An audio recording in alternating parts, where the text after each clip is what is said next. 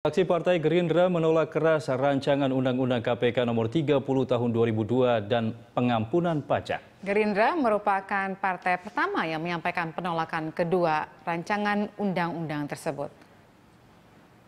Menurut anggota DPR dari fraksi Gerindra, Nizar Zahro, rancangan undang-undang KPK tidak memiliki urgensi untuk segera disahkan menjadi undang-undang.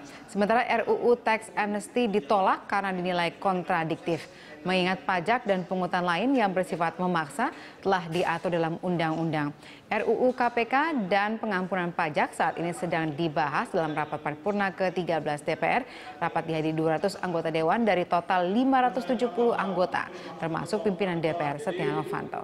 Kami mengusulkan pembuatan keputusan proses pembuatan maka dengan ini fraksi Partai Gerindra menolak dengan keras RUU nomor 30 tahun 2002 tentang KPH, tentang KPK, tentang perubahan atas Undang-Undang nomor 30 tahun 2002 tentang KPK, tindak pidana korupsi, ini menolak secara keras. Karena Presiden juga berwenang untuk mengajukan RUU perubahan itu kepada DPR.